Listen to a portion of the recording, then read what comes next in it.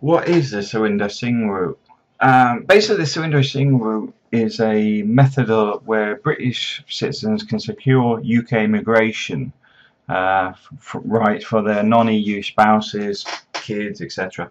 by firstly moving to another country within the EU because um, you can't do it within the UK uh, but basically you move to another country live and work there for three to four months do all your paperwork, get a family visa, and then you can go to the UK.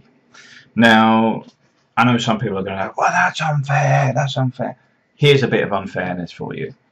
I pay on average, when I work in the UK, at least £1,200 a month in tax.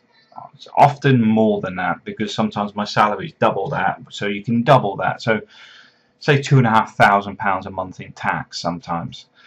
And they treat you like crap. Because what's happened is the EU door has opened to EU uh, people. You Romanians, Albanians, Croatians, well, um, the whole of the EU is an open door policy. So you've got the Conservatives, and you had the same with the Labour.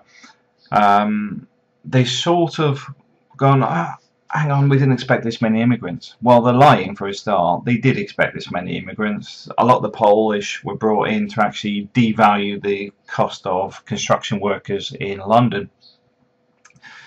So they've, they've got this door wide open. Uh, it's devalued a lot of the jobs in the UK, etc. But what's happened now is they're going, oh, hang on, we're going to we're going to reduce immigration. Uh, we can't do anything about the EU. Um, I know what. A little light bulb comes on. The only people left to target are British citizens. You know those people that should be able to bring their wife and kids to the UK because they're British citizens. So we actually have less rights than a lot of, well, probably even nearly as low as the guys in Calais because we're actually legally already a citizen. So this route is basically you go to um, Portugal, Spain, France, Germany, etc.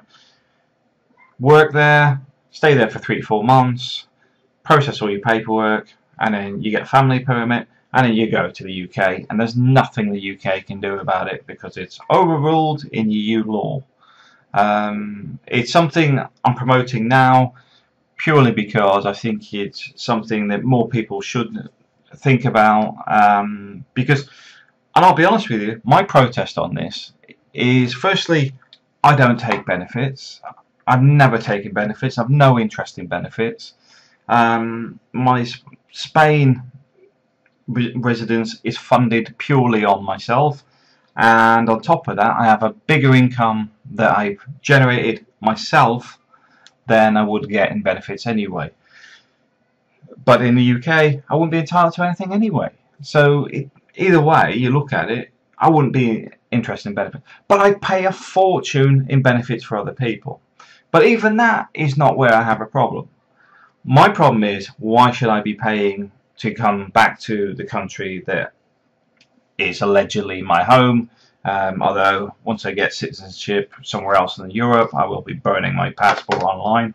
Um, but the the point being here is that for me to take April and the kids to the UK, when you total it all up to actually get the residency and then become a actual physical resident in the UK, beyond all the crap they do with this British exam on nonsense that the average Brit couldn't answer, it also costs about £6,000 per person. So for me, that's £18,000 to pay for something that legally I believe should be my right anyway from being a husband and a father.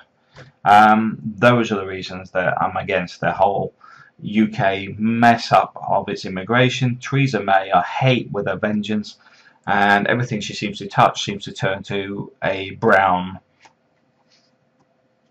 I can't say it without swearing a brown mess on the floor. Alright, thanks for watching.